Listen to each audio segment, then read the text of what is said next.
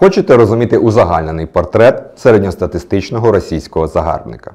Він здебільшого має лише шкільну освіту, ходить в одних парцянках три місяці підряд, а обов'язковий елемент його раціону харчування це один літр водки. Це не жарт і не перебільшення. Саме такі дані містяться в службових документах полонених російських загарбників, які знаходяться в розпорядженні СБУ. Так, офіцери російської армії ведуть соціально-психологічний портрет особового складу. Насправді, тут нічого дивного немає, якби не розуміння, як вони це роблять. Наприклад, графа соціальне походження. В ній досі, як у часи столітньої давності, вказують пункти із робочих, із крістіян. Напевно, в Росії не знають, що на вулиці 21 століття і такі поняття дещо застарілі. Ідемо далі. Путінські вояки так люблять пиячити, що один літр водки прописаний серед норм раціону харчування.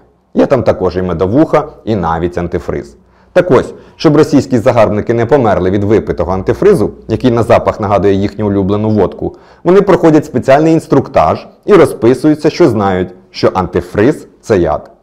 Картина була б неповною, якщо не зачепити культурний аспект ворога.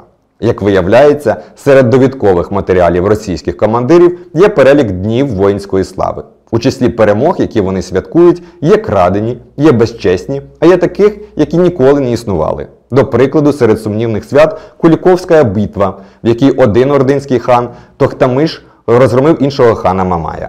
Бородинська битва, в якій Наполеон розбив росіян і вже за тиждень зайняв Москву.